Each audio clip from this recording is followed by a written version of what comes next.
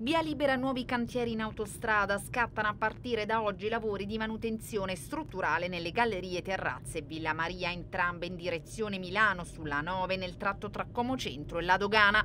Oltre un mese di cantieri in autostrada perché i lavori si concluderanno soltanto il 31 di marzo. Chiusure che provocheranno inevitabilmente disagi anche a Como città, risentirne dei provvedimenti del cantiere anche il traffico cittadino. Questa mattina si sono replicate le scene di sabato scorso, auto in coda in autostrada strada è paralizzata la viabilità ordinaria, traffico in tilt in via per San Fermo verso Montolimpino e intanto in una nota congiunta Autostrade per l'Italia e il Comune di Como hanno fatto sapere che gli interventi verranno effettuati 24 ore su 24, 7 giorni su 7 per completare nel minor tempo possibile l'intervento che necessita la chiusura continuativa della galleria in direzione sud.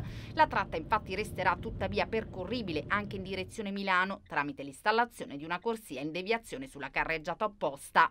Da oggi inoltre sempre sulla 9 per consentire interventi di monitoraggio e di ispezione della Galleria Montequarcino scatteranno delle chiusure notturna fino alla giornata di giovedì 25 febbraio dalle 21 alle 5 del mattino con la chiusura del tratto compreso tra Como Centro e Chiasso verso il confine italo-svizzero.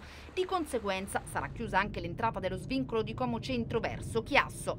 Nella nota di autostrade si legge ancora che saranno regolarmente transitabili i rami di ingresso verso Lainate della A59 tangenziale di Como. Da questa sera inoltre fino a domani mattina sarà chiuso lo svincolo di Como Centro in entrata verso Lainate, mentre nelle tre notti consecutive da martedì a giovedì sarà chiuso il tratto compreso tra Lago di Como e l'allacciamento con la A59.